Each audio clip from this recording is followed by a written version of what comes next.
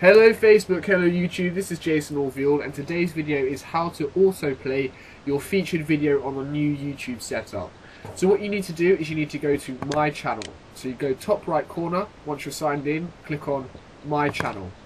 Once you've clicked that, it's going to take you to your channel page where you can edit all the settings on your page. Now my page setup is currently on the featured tab, which means that the setup page looks like this, but you can have you know, feed or your videos. The important thing is to have it set on a featured tab. So for the first step, you need to go to Edit Channel. Once you've clicked here, we're going to simply select Info and Settings. And then we're going to, the default tab here, we're going to select Featured tab. As I said, you can select any of those if you want to, but for the purpose and demonstration of this video, for featured autoplay video, you're going to need this tab on. And then simply press Finish Editing. And now what we need to do is we're going to go back to the uh, homepage tab here and you'll notice there's a button here that says add a featured video. So for the first time that you haven't got a video selected as your featured video, this tab will come up.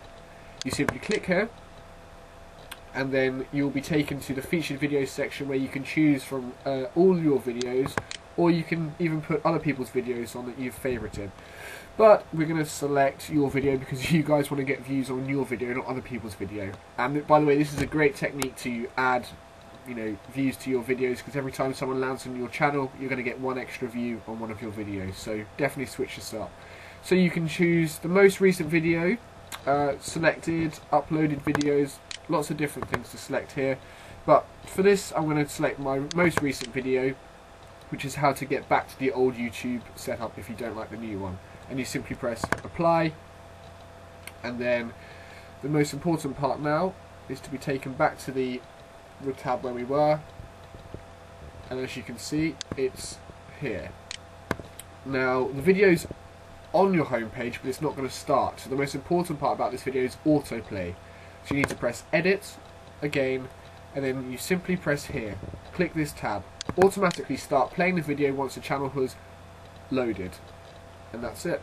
Press apply and you're done. And that's going to take you back to your home page on your channel and the video will start automatically when any anybody lands on your page automatically. So we'll just wait for it to load up and it should start playing. Just want to say thank you very much for watching this. Autoplay sorted. Please rate and comment. Thank you.